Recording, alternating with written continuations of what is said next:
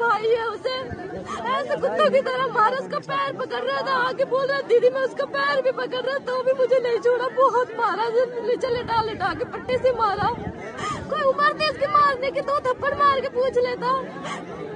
उनके पास कोई सबूत था कि हाँ ये इसी ने इसमें चोरी किया? बस यही कहा कि दरवाज़ा खुला रखना, मैं आऊँगा सोने। बस इतनी ही बात हुई थी।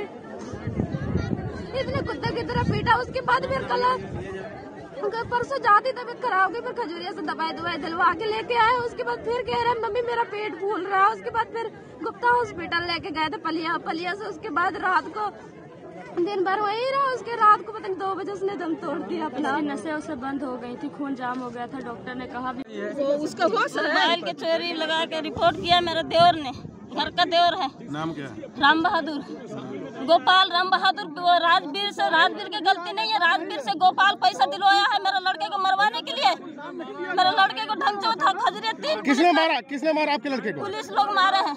पुलिस का रोल लीजिए कौन उनका नाम हमको नहीं पता है। राजवीर का गलती तो नहीं है? राजवीर का गलती नहीं है। राजवीर का यही गलती है पैसा देने गया था थाना में। किस चौकी में?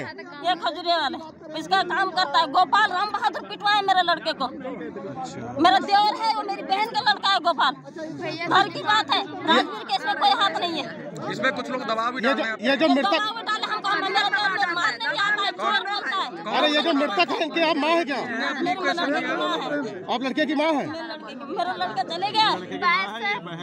अब क्या अब आप लोग क्या चाहती हैं? बस मैं चाहती हूँ कि पुलिस वाले को कड़ी से कड़ी सजा मिले और हमें कुछ नहीं चाहिए। किसी का केस नहीं करना बस वो चार सिपाही है ना उनको सजा मिल जाए